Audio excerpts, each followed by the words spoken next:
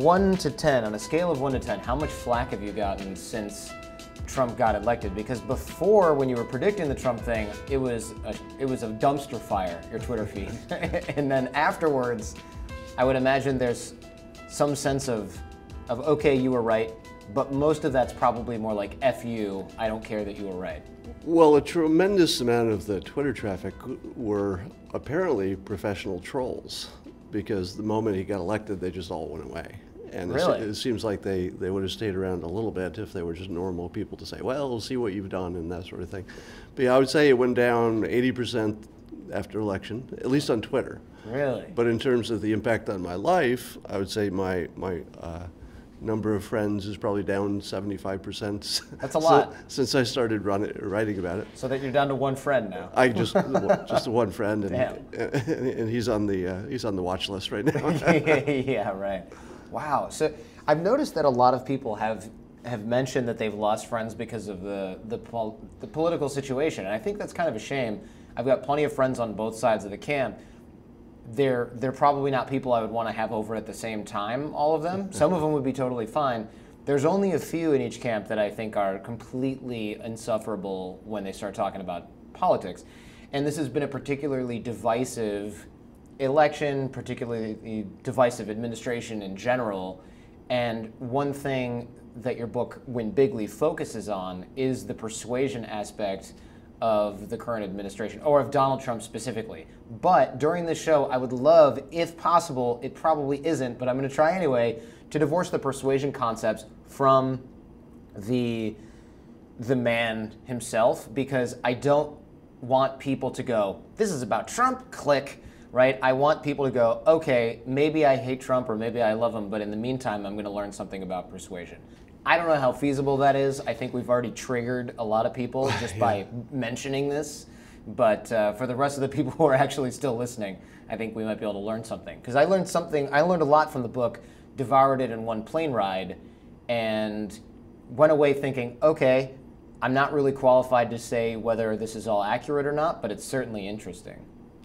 Um, yeah, we can do that. Let's let's uh, Let's proceed. try. Yeah, I'll, I'll, sure. I'll try to de-Trump it as much as possible. Yeah, it might be tricky. You did mention your career and your income took a huge gap. It's, I don't know if it's a gap, but a, what's a proper term for this? Nosedive, maybe? Took a hit. Yeah, yeah, severe hit. What, what now? I guess now you write a book and then you try to make up for the, this little stop loss here. Yeah, I don't think the book will make up for the uh, the annihilation of my speaking career. Uh, I lost a big corporate uh, license deal, and probably will never get another licensing deal for Dilbert going forward Because of that. because of writing about uh, the election. Yes. So because it, poor Dilbert. I mean, he's he's an innocent cartoon, and now he's going to be Well, so far the comic itself is fine because newspapers are a little bit immune to the you know left-right battle. They they try to serve both. So Mm-hmm. so I'm fine in newspapers, but that's that's the only solid place. Really? That seems it seems strange to me that someone would go, "Hey, we were going to put your cartoon on a mug, but now we just can't do it because it reminds us too much of of the president." Yeah, there's some people who just can't shake that association. Wow. Yikes. Well, I guess if you had to do it all over again, what would you do? Would you uh, would you do it exactly as you had, or would you maybe sell the Dilbert stuff to a, a, a trust or something like that, or move some IP around, or maybe you'd be Adam Scott on Twitter instead of Scott Adams? You know, I think I'm actually a, attracted to trouble. You know, it's, it's been a Okay. sort of a lifetime problem with me. You know, I think, well, what's the most dangerous thing I could do? And then I think, well, that sounds good. You know, I usually I talk myself out of it. In this case, I probably would have talked myself into it again because I, I did enjoy, uh, I guess, the, the fight of it, you know, the intellectual fight of it. But there was something bigger I thought happening during the election. I, I thought that it would change how people thought about uh, their place in the world. To me, it seemed like a, a far bigger thing than just you know one person's persuasion. Sure. Because when I think dangerous, I think cartoonist. right? so Well, you know, cartoonists do get killed. that's true. It, oh, actually, you know what? That's very true, especially in the last few years. yeah, the it? Charlie Hebdo guys. Yeah, and the, the what was the other one? The Draw Muhammad contest, or the film? I guess he was. A, was that a filmmaker? filmmaker. Yeah. Yeah, eh, adjacent artists in general. Now it's not as safe as it as it was before. you say that you're in no political camp and you're more of an observer, and that's fair. It's hard to say that when you read the book because it is about one side's, it is about the president's persuasive power. Uh, and so a lot of folks might really not believe that. But to those folks, I kind of want to say it doesn't really matter whether or not that's true, in my opinion. I think looking at persuasion as a skill set, it kind of doesn't matter who we're learning from if that person is effective. I think it would be, uh, there's probably no persuasion class anywhere, rhetoric class especially, anywhere on the planet that doesn't say, all right, we don't condone this, but here's a bunch of Hitler speeches, and these were undoubtedly effective for negative results. And I think to omit that kind of case study is to just kind of plug our ears and sing la la la and hope that it goes away. Yeah, unfortunately, there are effective people that we don't like. Mm-hmm. And if you're just looking at the tools and you can hold your nose and say, what do I what can I learn? Then you can learn.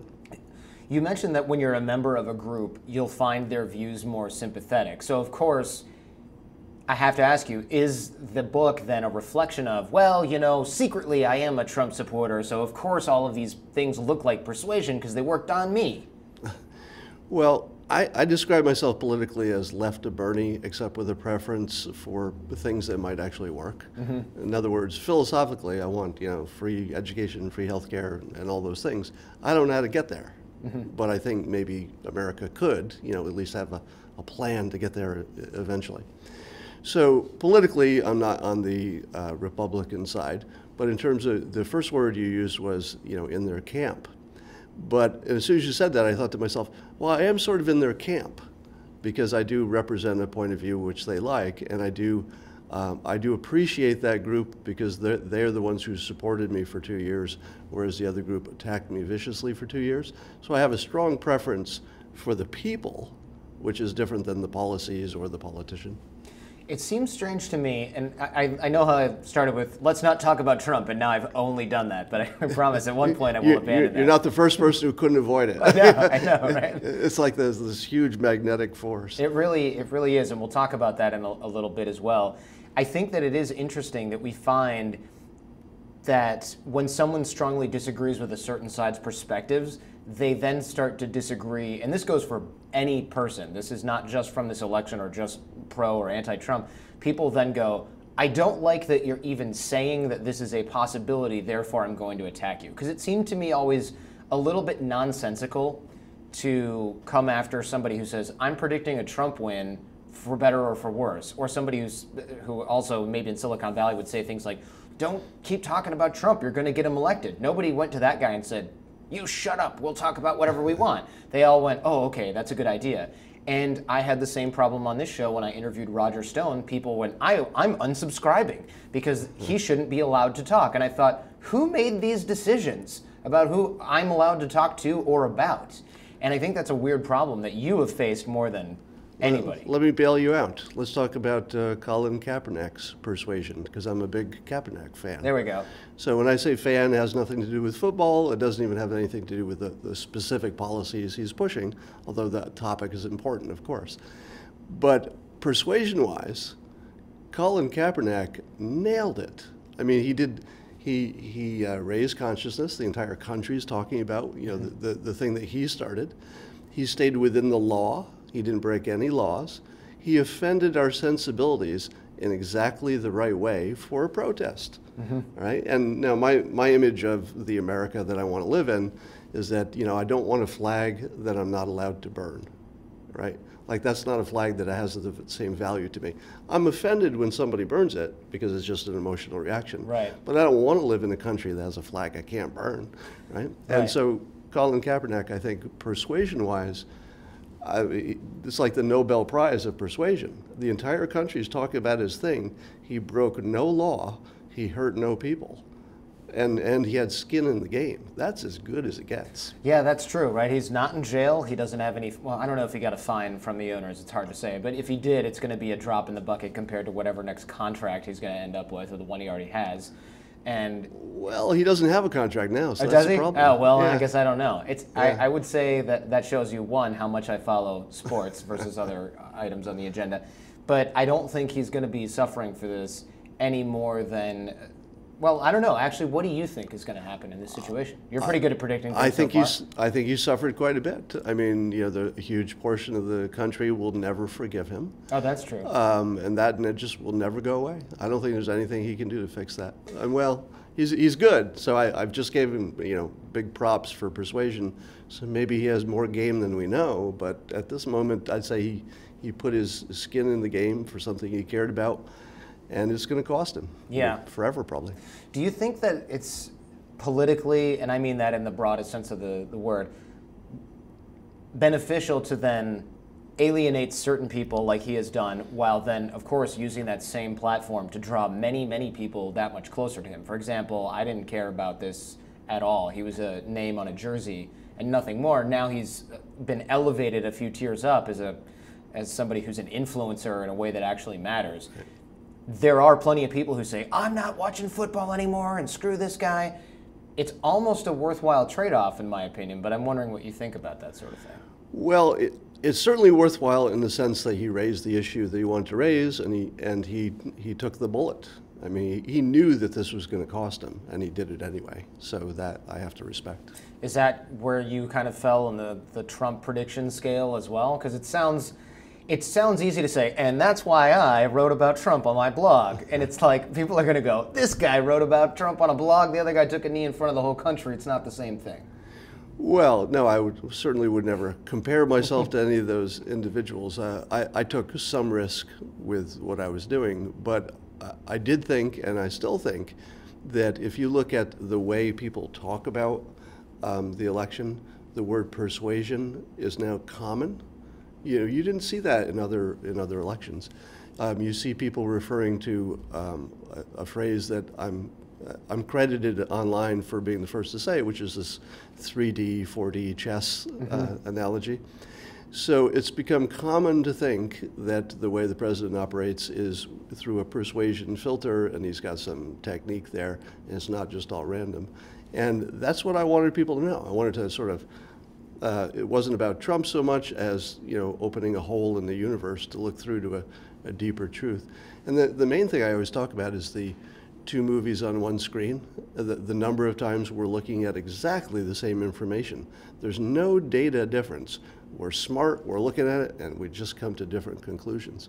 I was just uh, reading Scientific America on the plane the other day, and they had a fascinating study where they were trying to figure out, you know, what's up with these science deniers. Oh, Okay. yeah. What? So- tell me about that. I would so- love to hear about that. So number one, I don't believe there's any such thing as a science denier, right? I've never met anybody who thought science was a bad idea. there are people who looked at the same stuff and came to different conclusions. And if you don't like the conclusion that they came to, doesn't agree with the majority, you got a problem. But here's a study in Scientific America that, that tells you the two movies on one screen uh, vividly. They wanted to find out if denying science had something to do with simply not understanding science. So you would, the first thing you would test is, well, is it just the dumb people? And sure enough, they would find that there were plenty of dumb people who disagree with the scientists. But they also found that uh, across the entire knowledge scale, to the most knowledgeable about science, no facts changed their minds. in, other, in other words, the data was never part of the decision to begin with. So the, the fact that some people are saying no and some people are saying yes is almost certainly because they align with the political side. You know, at least in most cases, there mm-hmm. have to be some independent minds there somewhere. But in general, people just vote their side and then they figure out why they did it after the fact. I could not agree more. When we had Shaquille O'Neal on the show, he mentioned that he was just joking when he said that the Earth was flat. And I got a lot of email, mostly tweets, because you know how they go on Twitter, saying, "No, no, no, the Earth really is flat. This is this is the Freemasons are forcing him to say that he was joking because this, that, and the other thing." And every single person that I engaged with, because I was genuinely curious, there are really flat earthers out there. I want to know what these people are about. Yeah. Universally, they were religious and they were part of a certain church that said the earth is flat and there's the firmament and that's what the angels live above that. And then all of the other, and I throw this in air quotes, science, then somehow has to be squeezed into that, that sort of perspective. And that sort of perspective says, no, above the sky is the firmament and above the firmament is heaven everything else has to fall into that, and that means the Earth has to be flat. Well, I think I found my new religion because I like to keep it simple. yeah, there you go. Earth is flat, angels up there, done. Yeah, angels up there, bad stuff down there. Just don't dig too far, and we're good to go. Yeah. Tell me about, and I'd love to hear about 3D and 4D chess as a result of this conversation as well. So don't let me forget about that. But let's talk about the types of persuader. You go through that early in the book, Win Bigly. What are the different types of persuaders? What are we dealing with on a daily basis? So I try to help people figure out the, the different powers that different persuaders have. And so uh, it, it, seemed to me that uh, I'm what I call a commercial persuader. And by that I mean um, I use persuasion for my job. It's part of how I write. It's part of how I make cartoons. It's part of how I write books. And so I'm a commercial grade persuader. Um, above me would be uh, cognitive scientists, people who actually study this for a living. So I, as I say in Win Bigly, if a cognitive scientist says, hey, this chapter is wrong, believe the scientist, not me. You know, I'm commercial grade, they're, they're science grade. Um, and then above that, um, I put the what I call the master persuaders. These are people who have all the tools of persuasion, but they bring something else. They either a high risk appetite, or there's something about their personality that's just gigantic. In the case, in this case, uh, Trump has both. So there are people like Steve Jobs, for example, where there's something about his willpower, his again appetite for risk, uh, and, and other things that just normal people don't have. But they're above and beyond the tools of persuasion. But you put them together, and they're they're insanely powerful. So the things that we see master persuaders do are maybe not yet explained by science then? Is that what you're saying? Or are there things that scientists have not studied since they're a rung above on the ladder? Oh, I, I, here, let me give you some examples sure. that would be better than. Yeah. So, no, I don't think it's uh, so much a case that science hasn't discovered what master persuaders can do. Um, I, am just, an example would be a master persuader says something that uh, they know is not true, and they're going to take a lot of flack for it. But in the meantime, every, they're going to get attention for something that they want attention for.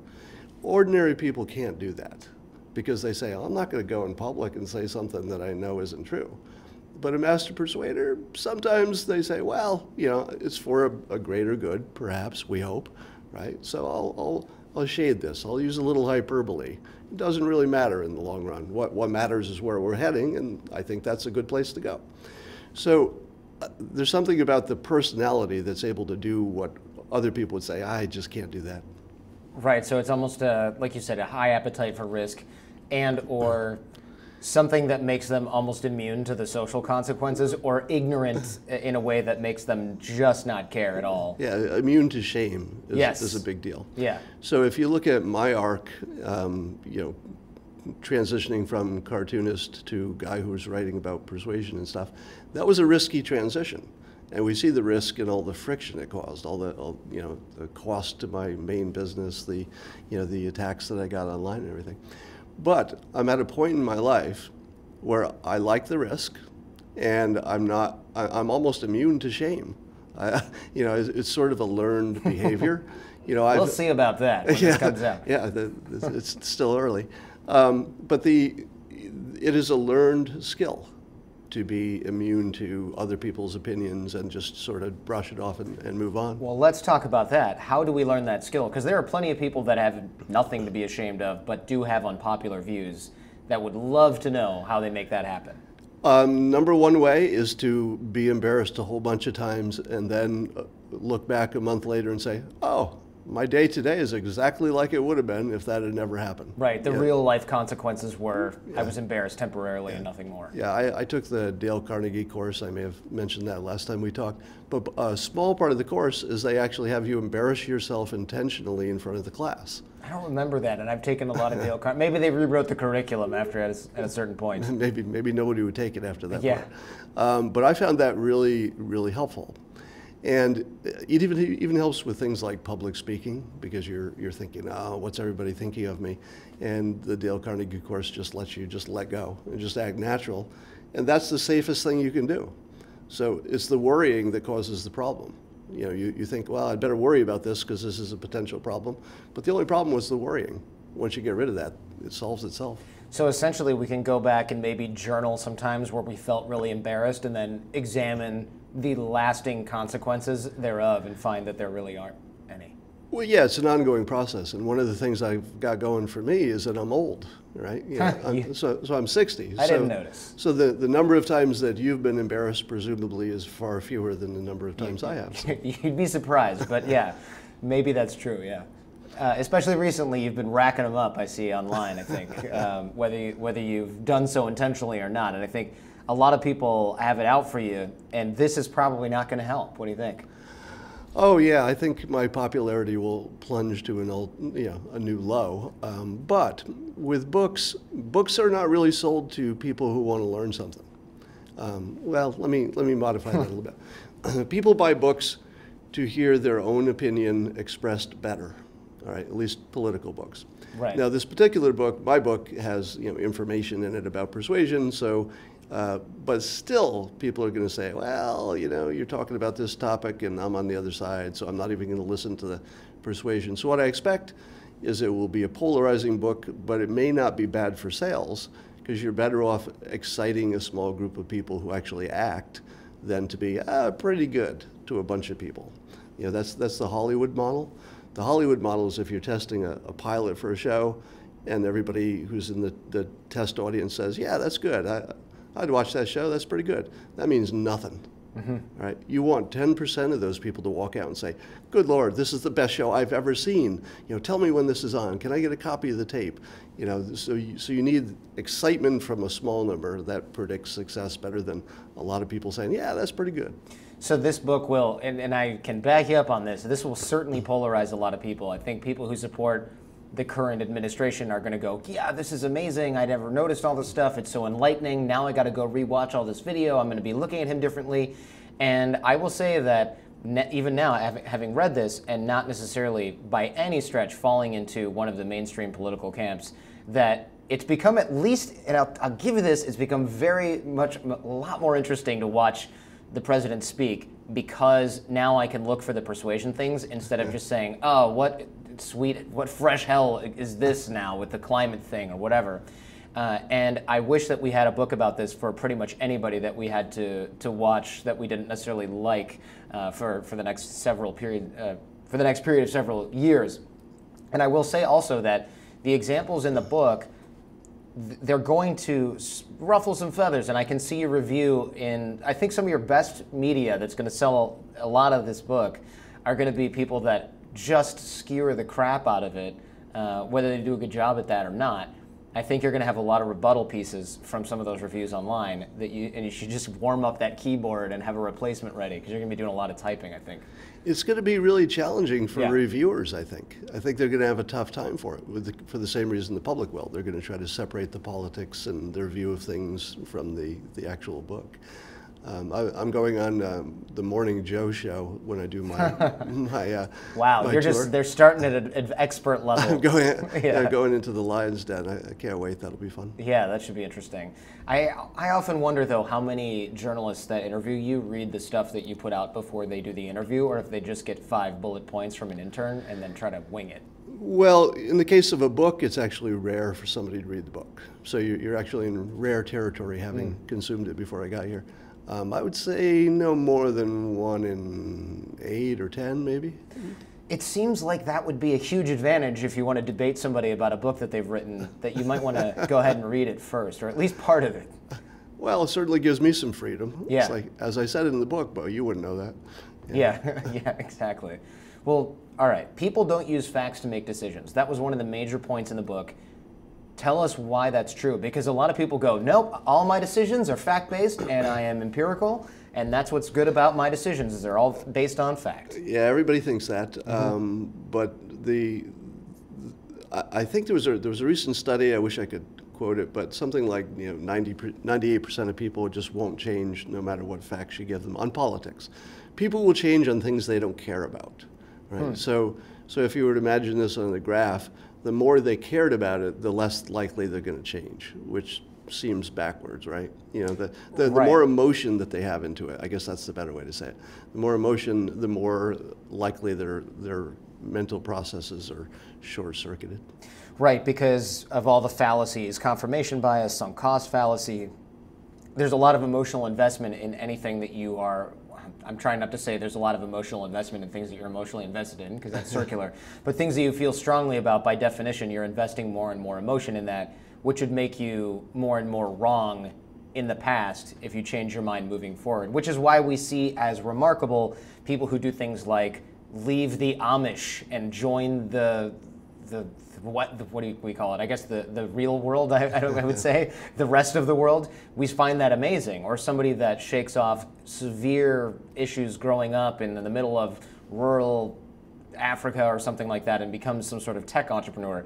Those stories are amazing because of the amount of investment that somebody has uh, in a certain way of life or a certain certain set of thoughts, religion or otherwise. Let, let me give you a little example that was uh, that's a, a, current one. So after the Vegas shooting, there was lots of talk about the the security guard um, Jesus Campos and you know right. where was he and you know and a lot of people came up with conspiracy theories. And they were so sure their conspiracy theory was right that this security guard must have been somehow connected with the shooter that when they produced the, the actual picture of him, and then people compared it to, I guess, an older picture, which they knew was actually him. And they said, they, they put him side by side on Twitter, and they said, clearly not the same guy. Hmm. They, they've replaced him with a body double. And I looked at the pictures, and I'm not, I don't buy into the conspiracy theories, and therefore I have no emotional investment. I simply you know, didn't think that was the thing. I look at those pictures and I think that's exactly the same guy. Mm-hmm. It could not be more obvious. I'm looking at them like two pictures next to each other, clearly the same guy. But other people, honest, smart, completely normal people who can hold jobs, looked at those pictures and said, oh my God, this one on the left is a whole different person. And when you see it that starkly, you're actually standing in the room with somebody who's looking at the same simple thing and they're seeing it differently. It's amazing. It just it just tells you how powerful this is. And that was only with just a little bit of um, you know mental investment in their prior opinion and, and they still couldn't shake it with a photograph that could not have been clearer, in my opinion. Do you think we're evolved to see that way? We actually had a brain scientist on the show earlier, and I can't remember which brain scientist it was, but she was saying that one of the things they're studying right now are a lot of these police shootings, and they're thinking that the police are actually seeing dangerous weapons because their brain is painting a completely different picture. And she thinks that with more advanced brain imaging in the next 10, 20 years, we're going to be able to see that people who make grave mistakes like that based on negative stereotypes, maybe of the race or ethnicity of the person that they're they're involved with, they're actually seeing something completely different than we're seeing on a video, mm-hmm. which is why it looks so bad on the video because we look and we say, "How did you think that guy was armed and running towards you when he was right. unarmed and running away from you?" And if we one day get to the day where we can replay what they saw in their brain somehow, we'll see exactly what they said, which is he was running towards me and he had a gun in his hand.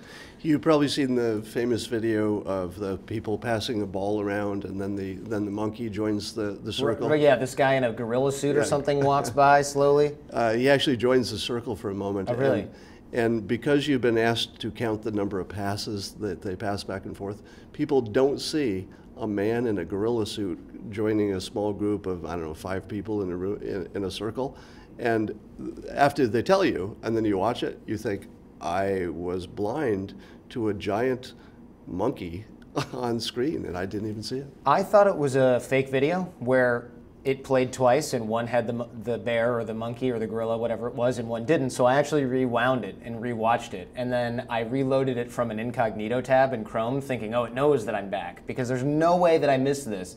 And we can link to that video in the show notes for people that haven't run this test on themselves. You will be shocked well, I guess we ruined it now, right? But show a friend who's not looking for that, because right. now, of course, you, you'll say, How did you miss this, you knuckleheads? If you show it to somebody who's not aware of what the test is testing, you will find that they miss it 100, almost 100% of the time. So, uh, stop me if I've told this story before, last time we talked, but um, I was once a bank teller uh, here in San Francisco, and I got robbed at gunpoint. And during the middle of the day? During the middle of the day. So it was a bank robbery? Bank robbery. Yeah. Wow. Which actually is very common. The, most of the local branches get robbed on a regular basis, but you don't even know it if you're in the lobby of the bank. It's usually just a quiet transaction. You know, give me your money.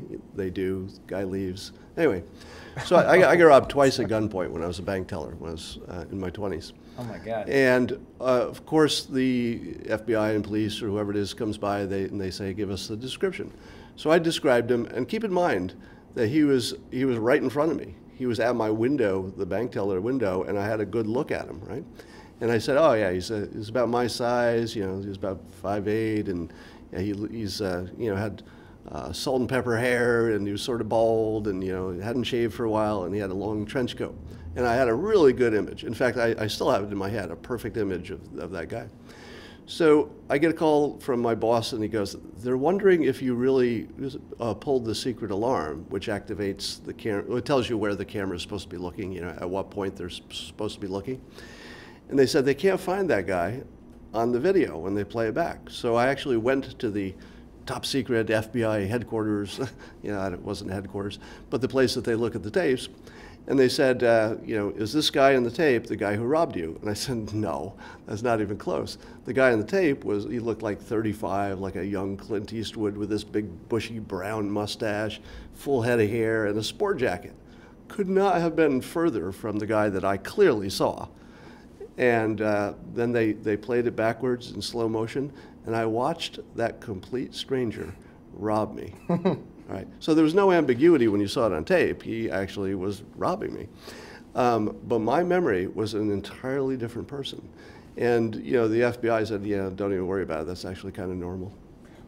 Who did you think that robbed you? I mean, did you pick that guy out of a movie? Was it just somewhere stored in the in the memory banks from a TV show you saw as a kid? Who knows? Because you know you're under duress, and then your brain just doesn't act normally, and Right. then you convince yourself you saw something you didn't see. Right. But when you're trying to theoretically fight or flight, fight for your life, it's not going. Your brain's not saying it's going to be important for you to remember exactly what this person looks like for later. Your brain's thinking, how do I get out of here without getting shot in the head by this crazy person? And then there was a second one. Second time I got robbed, he actually put the, the, the gun up to my nose.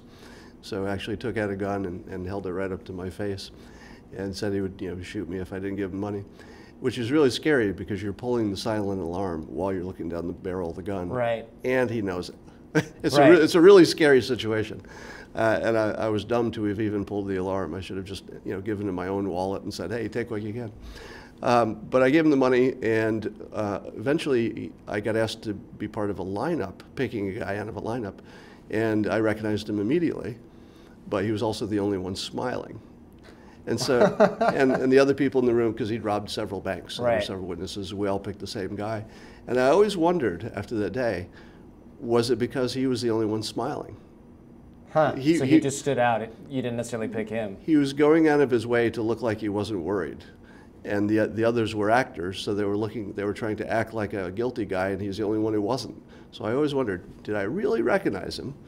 Or did, did that cue me that he must be the guy? How 'cause it looked Oh, interesting. I'll yeah. never know. So if you're in a lineup, try to just look like everybody else in the lineup. Don't try to look like you're relaxed. Uh, I'm hoping to avoid that lineup situation. Yeah, right. So why is this concept important that humans use emotion instead of facts to make decisions? Uh, What is this? What impact does this have on us? This is a, char- a concept we teach at our boot camps and our live programs quite a bit. But I'm curious as to what you would say about this. So I call this the, the hypnotist's point of view. So I'm a trained hypnotist. And one of the things that you sort of have to believe in order to even do hypnosis and understand it and, and work with it is that people are irrational about 90% of the time. 10% of the time on the little stuff they don't care about, they can do fine. But the common view of the world is exactly the opposite of that. The common view is that we're ration- we are rational 90% of the time, and about 10% of the time we get emotional and things go crazy. If you use those two filters on life and say, okay, which one is explaining things better? The irrational filter just wins every time, all right? That doesn't mean it's true, because we may live in a universe where we're just fooled about everything, who knows? But certainly as a filter to predict things, it's very true. Um, just look at the fact that two people can look at the same data with the same IQ, same backgrounds, and just see different things. Actually, literally see different things, like we were just talking. That's completely irrational behavior, and it's, it's the norm, it's not the exception. One of the concepts in Win Bigly is that things we think about all the time rise a couple of rungs up on the ladder of importance in our minds. You gave a lot of really interesting examples of this and the way that Trump uses these examples to persuade. Can we explain and give some examples of this? Because that explains a lot of why a lot of these facts and assertions and things like that come out of his mouth seemingly for no reason and a lot of us just smack our foreheads and think, you didn't Google this before you got up on a podium in front of the media? um, so I'll, I'll quote uh, Dr. Carmen Simon, expert on memory. She's been on the show, yeah. Uh, and um, she teaches and writes about the fact that if you don't have a little bit of wrongness, people won't remember it. So if everything looks the same, you, your brain just falls asleep and say, yeah, blah, blah, blah, blah, more of that, because your brain can't remember everything, right? It, it's very selective. And so there's something about President Trump's natural style, which I think he has intentionally elevated for, for these purposes, that everything seems to violate something that you didn't think should have been violated. He either acts in a way that you say, no president should act that way, or he states something that you think that couldn't possibly be true, um, or he, he, uses a word that shouldn't be used in that context. There's just something about it that's not normal. And he does that so consistently, it would be hard to think that that's completely accidental. Um, although I do imagine there are plenty of times where there's a small error and he just doesn't care. Mm-hmm. Like, you know, so some of it is not caring to make it exactly as how people expect. But the net effect of it is you can't turn away. You know, you, if you tweet something, you just say, "Oh, that's more interesting than whatever else I was doing. Let's talk about that," mm-hmm. and then it becomes part of your brain's architecture. How can we use this concept in our own lives if we're not the president of the free world here? What do we do in in our daily lives to to maybe capitalize on the fact that look, I want people to think this is important. How do I get it wrong, but not so wrong I lose credibility? Well, there, there's probably there must be infinite ways to do something slightly wrong. Sure. So I guess it would depend on the specific situation. But um, if you're using hyperbole, and let's say, uh, let's use the classic example, let's say, uh, well, for example, in this interview, um, I'm, I'm, happy to see that uh, at least 50 or 60 people have showed up in the audience to watch us. Sure. And I'm, I'm really happy about million, that. Million, million and a half, yeah. Now, now when, if that ever gets fact checked and we find out that it's two, and they're both my parents. Yeah. that would never. That would be. It's a little too far fetched. Who's going to believe that yeah. anyway? Um, but but by the time somebody finds out that that fact was an exaggeration, they still have it in their head and they've lived with. Well, I guess there were a lot of people at that thing, and even the corrected information just doesn't have as much in, impact as the original thought. We don't like to change our mind that much. So we can always use hyperbole and then just realize because people think, why would he say that? of course he's going to get caught on that. And what you're saying is, yeah, but it doesn't matter if he gets caught on that because the effect happens in the moment. It doesn't matter that later on down the line, it doesn't look accurate. Well, he also uses the trick where he makes you, uh, you know, think past the sale uh, quite a bit. So uh, there was a recent tweet where he, he said something like, uh, "I can't imagine the Democrats if they voted against this. You know, how would they live with themselves in the future?" And and it makes you think about well, could they live with themselves? You know, what, how, would that be hard in the future? What, what would that be like if you didn't vote for this? What, you know, and that seems like an exaggeration. I think those Democrats would be fine because it's the way they voted. I'm sure they liked it. So you're talking to yourself about this future where they've got a problem, you know, and you've already thought past, you know, did they did they make that vote? So he's he's making them think about their bad future, mm-hmm. uh, which is strong persuasion what types of things can we learn from cognitive dissonance? This is one of the things that you start the book with. It's a concept we discuss a lot on the show. Can we define it and then talk about what makes why it makes us irrational? So the, the the, the Scott's definition of cognitive dissonance, you know, uh, without all the science in it, is that if there's something that violates your uh, expectations or your self image or just the way you think the world is supposed to be, especially if it involves you, right? That, that's the biggest trigger. If, if there's something about you that you would have to change. For example, if you found yourself doing something stupid, but you believe you're a very smart person, instead of saying, well, I guess I was wrong, I must be stupid after all, you would, it's far more likely you'd say, well, I had a good reason in this particular case, I didn't get sleep or whatever it was. Well, in that case, that might actually be the reason. Hmm. So, terrible example. But the point is that we spontaneously come up with a reason why everything was, was fine and our original opinion you know, was just great. So essentially, we rationalize past opinions or behaviors in order to make them line up with pre-existing beliefs. Yeah, but and but rationalizing is almost too weak because cognitive dissonance can give you a full-blown hallucination in which you're seeing stuff you don't, you know, that, oh, well, the example I gave of the people who saw the two photographs of the security Right. guard, the people who were deeply invested in how brilliant they were because they had figured out this conspiracy that somehow the government had not told the people and, you know, they're way ahead of it. If their self-image is, I could not be wrong about this. I get this sort of stuff right all the time.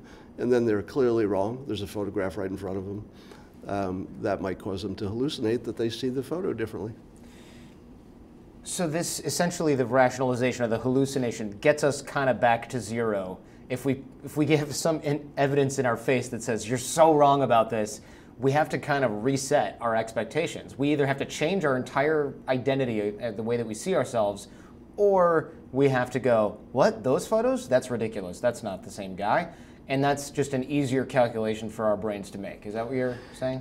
Uh, yes, it's, so it's, it's the easiest thing your brain can do is to say I was right all along instead of, you know, rework your entire history and your self-image and everything else.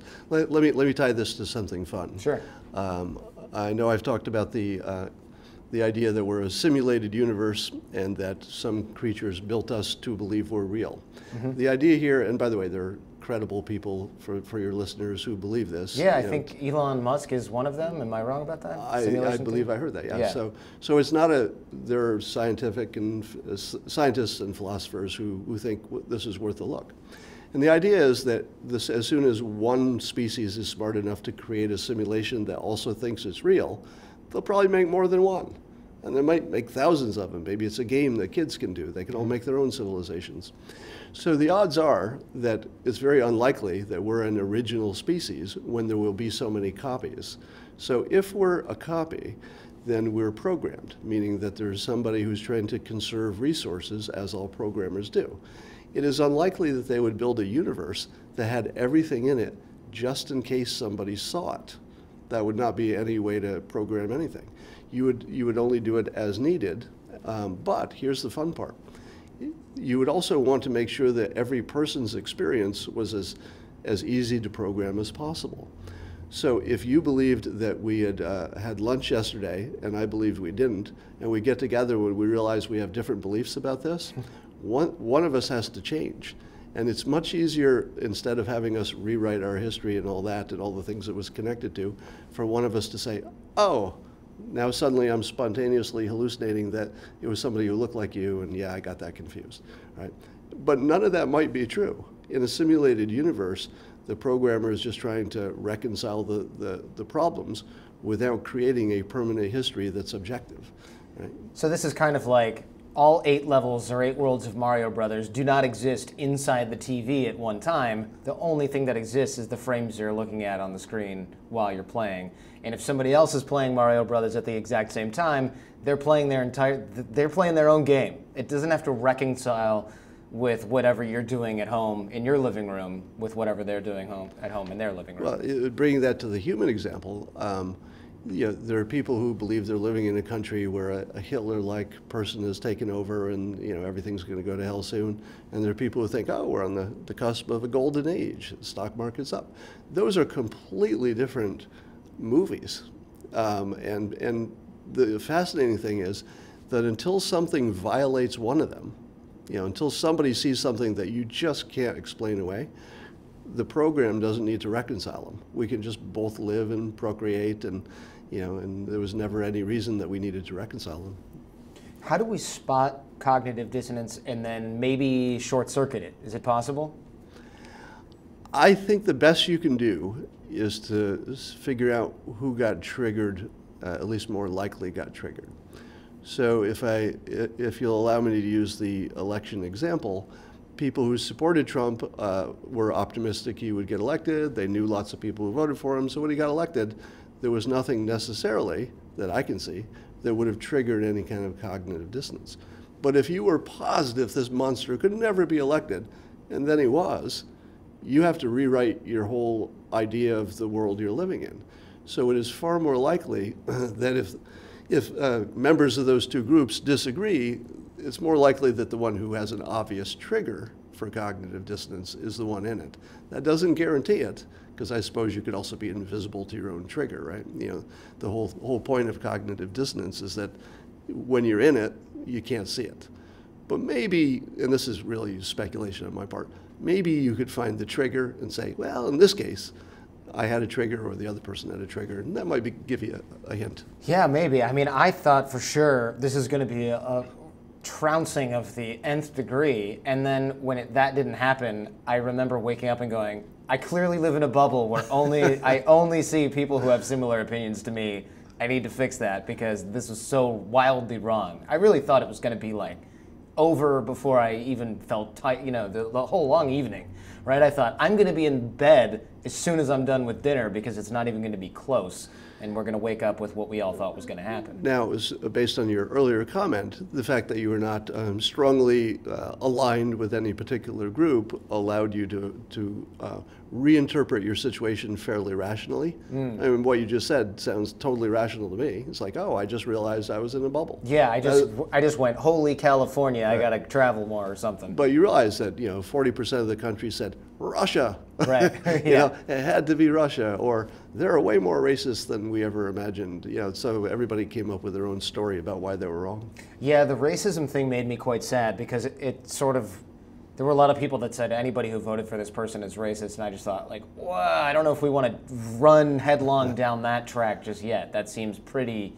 It's a, maybe I'm delusional again, but I really don't want to think those types of negative things about the country that we live in. I don't want to bury my head in the sand if those things are true, but I also don't want to assume that people with different political beliefs are stupid or racist or uh, really want to see the world burn. Uh, although some of my friends who, who voted for both uh, either party were certainly in that camp too.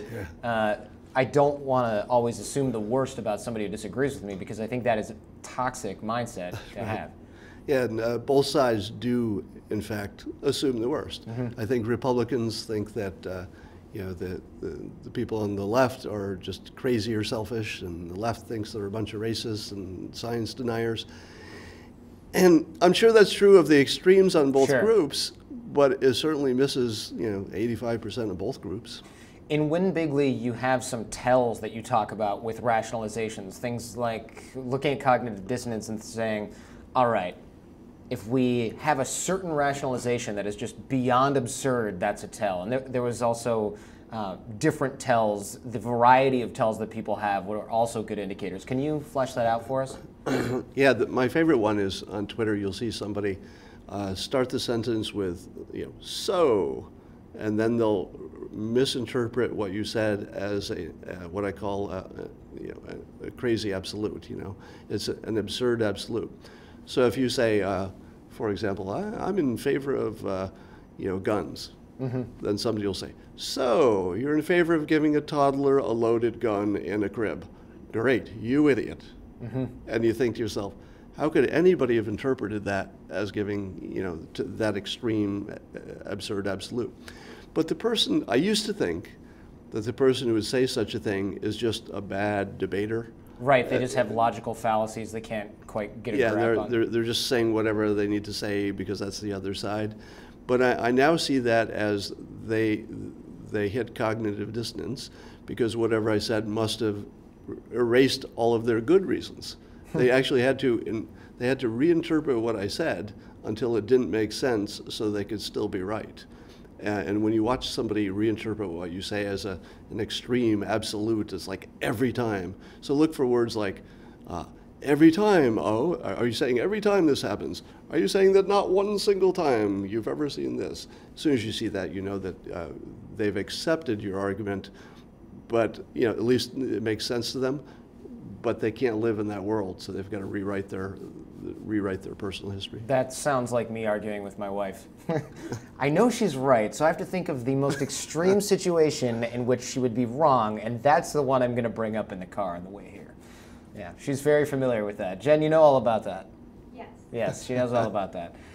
One of the tells that someone is engaged or indulging in cognitive dissonance was that there are Oh, one person explains it this way, and another ah, person ah, okay. explains it that way, and there's a hundred different explanations, and they all kind of yeah. lead to the one conclusion. Right. So right after the election, CNN published uh, some long list of all the different reasons that uh, people got it wrong and, and Trump actually won. And they're all different. And uh, you know, if you see that many different reasons for something, um, it means that nobody knows the reason, which means that maybe they don't want to accept the reason. you know, uh, so yeah, that's a, that's a red flag when you see lots of different explanations and everybody's looking at the same data. That's that's the thing. If everybody were looking at different information, then different explanations make sense. But if they're looking at the same stuff and they have the same brains and they've got 24 different reasons to explain it, probably none of them are right. But can't there be multiple explanations for the same phenomenon or for the same result? Well, there are multiple variables. So you could have a situation where, um, you know, lots of things were 2% of the, of the answer. Sure. But when you're trying to sell it as the reason, you know, it would be reasonable to say, okay, well, there were a whole bunch of things and maybe this was 2% and this was 1%. Had somebody said that, I would say, oh, that's a, a reasonable person who is not in cognitive dissonance at all. But when you Gotcha. look when you look into it and there are so many different things and you say, well, the reason is sexism. Right. Hillary ran a bad campaign, and sexism, and racism. Those could all be right, though, right? Well, they could all be 1%, Right. 2% of the problem, you know, and they're all complicated because it could work both ways in some cases. And, you know, yeah. So if anybody says the complicated version, like, well, there are many variables, we can't suss it out, what I said was that persuasion would be a better predictor, and that it did, in fact, predict a number of things along the way as well as the final result. But I still present that with um, all the humility that I can muster as what I call a filter. That is to say, it seems to be seems to me that we don't really have a good sense of reality. Nobody does. You know, we all have movies in our heads that are, are our personal reality. So the experiment was, if you pick this variable, does it help you predict better than other filters on the world? So it doesn't mean it's true. Um, doesn't mean there's even an objective reality necessarily. But we can observe because I predicted publicly, and I said, I predict this, and then you can see if it was true, and, and they were good predictions. Right, because there's a lot of folks out there that go, all right, guy gets lucky predicting a Trump win. Now I got a friggin' book in front of me. Come on, man, you're giving yourself too much credit. And it sounds like what you're saying is maybe we'll never know. I, I always make fun of the fact that uh, you know somebody becomes a millionaire, they start a company, everything goes right, and then they the first thing they do is write a book. It's like, hey, well, everything I did must be the right thing to do, and of course, there's just no logic to that. Some people were going to succeed. You know, it was a thousand variables. Every one of them had to line up to make this happen. Um, so uh, you, you should be cautious of someone who writes a book and said, I succeeded and therefore you should do it this way. So I try to write books that say, um, here's a process, you could try it yourself, it doesn't cost you anything, compare it to what you were doing, make your own decision. This is uh, is that called survivorship bias? Is that the fallacy that that is involved with that? I always mix these things up. I think that's what it is, and and what I mean by that is an example that I see all the time is when we go to these entrepreneur events. Right now we're at the Nasdaq Entrepreneur Center, and there's a lot of events here, and sometimes you'll hear someone say, you know.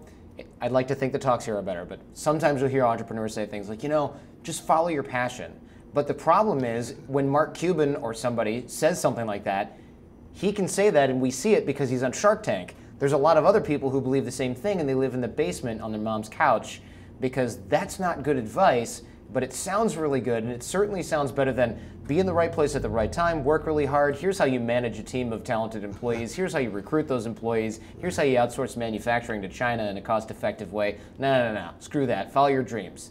Where's my check? Yeah, and then nobody wants to admit that luck is a gigantic factor. So the way I dealt with luck in my own career is I tried lots and lots of stuff, and I waited for something to catch on. But you never know which one in advance. You never really know which one's going to work. I think uh, we, we had somebody on the show in the past, and Jason, you're going to have to look this up, and uh, maybe we'll have to record a, a make good. But he talked about the role of luck and how when he was doing studies of entrepreneurs and things like that, we all minimize the role that luck plays in anything that actually gives us an advantage. Because as a culture, we don't look at things that are considered lucky and say, this is a good thing to have on my side, because we don't believe in magic and things like that. It's a very Western concept. Whereas if we do look at luck and we go, wow, I am so lucky that I started this podcast and that I, I learned good work ethic from my father and I stuck with it and then I got laid off from my law job. That was actually lucky. And then I kept doing this and now I'm in this great place and interviewing all these great writers and things like that. Uh, that looks like luck if you really examine all these right things that fell into place. But it's much nicer for me, my ego, to say, actually, you know, I just uh, had a really good vision and I stuck to it because I'm very tenacious and I'm a hard worker and all these other things happened to me, but I persevered anyway. And no, luck, of course not. I had all, I earned all this. Right? there, there's, there's also a weird connection between perceived luck and your attitude. So there actually uh, were studies, Dr. Richard Wiseman studied whether people had luck, and uh, he found that you could you can fake luck, meaning that if you say to yourself, "I'm lucky, something good's going to happen," it turns out it changes um, your perceptual abilities. It, it, sets your filter differently. So if you expect luck, even if you're just talking yourself into it, you're more likely to notice something or even maybe do something a little bit differently. So you're, it's sort of a way of programming yourself to notice luck that was going to happen no matter what. You just wouldn't have noticed before. What is is that called the reticular activation system? Yes, something yes, like that? that, that's one of the names for it. Yeah, right. Yeah. It's your ability to, for example, pick out your name in a crowd when all everything else is just crowd noise. Yeah, when, once you set your focus on something, you just start noticing those things which matter to that focus, and uh, that's fairly well documented. Why do you hate analogies so much? I use analogies all the time on the show to teach and illustrate concepts, and I'll often get an email. Scott Adams says that analogies, if you use those, you've already lost. There, probably nothing is more misunderstood than my view of analogies. So let me, let me see if I can, for the first time ever, clearly explain what I mean. Analogies for explaining a new concept are excellent. Oh, good. So, so I'm not saying analogies are bad all the time. I'm saying that nobody ever won an argument with an analogy. So nobody ever said, well, you've got a mustache, Hitler had a mustache, apparently you're going to invade Poland. all right? So that's the sort of way people try to win an argument with an analogy. But if you're trying to say, you know, if you're trying to describe a zebra to someone who'd never seen it, you'd say, well, it's like a horse. Imagine you painted some stripes on it, and it would get you there faster. So analogy is an excellent way to describe a new concept, but you're never going to win an argument with an analogy. Because you're arguing about something that is that you've set up that isn't what you're actually arguing about? Well, you, every analogy gives the opponent infinite ammunition to attack because the analogy is imperfect by its design. That's what an analogy is. It's not the thing, it's, th- it's something that just has something in common with the thing. Right, something analogous, if you will. So, yeah. Right. So, so you know that the your opponent, who is not going to be swayed at all, is going to say, "Well, look at all the problems with that analogy. A, B, C. It's completely different because of this." You can never get to the end of that path. Uh, so analogies are useless. There's so much in Win Bigly that has to do with persuasion and things like the power of slogans, the power of color association, the power of contrast. I'd like to wrap with the concept of strategic ambiguity because as soon as I heard that, I went, oh my God, I think I see this all the time and I think I use this all the time and never knew what that was called. Can we talk about why this is so effective? Well, first of all, what is it and why is it so effective? So, strategic ambiguity, the way, way I use it in this context, is when you um, present, let, us say a politician says, I want to do this or that. It's, it's stated in a way that everybody gets to hear what they wanted to hear.